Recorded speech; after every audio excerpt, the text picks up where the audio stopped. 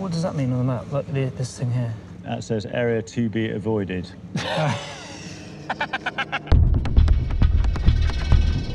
The book was a gift. This seafaring gentleman had been told about buried treasure on this island in the middle of nowhere.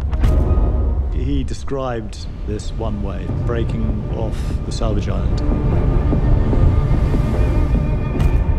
I said, Did you read that bit about that wave? And he went, Yes. Through surfer's eyes, that sounds like an amazing surfing wave to me. My antenna are going. "Doot, doot, doot, doot, doot, doot."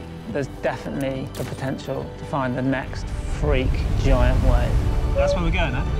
The kids, uh, hopefully, they'll join us. Dad just sent me a message saying the project's on. I think it's stupid.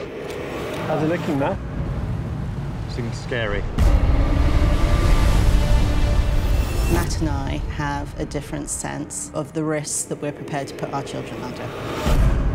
When something happens that's out of your control, it changes the way that you think about your invincibility.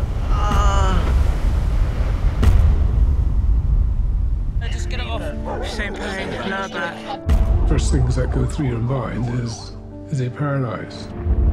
This whole thing is gamble. If it was easy and if it was guaranteed, it would have been done 30 years ago. If you look at the map, it says very clearly these are uncharted waters.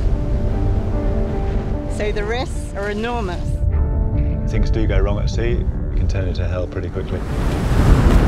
Big wave surfing, it's a numbers game. If you don't end up getting some serious waves, you're not being taken seriously. Think of giving it up then?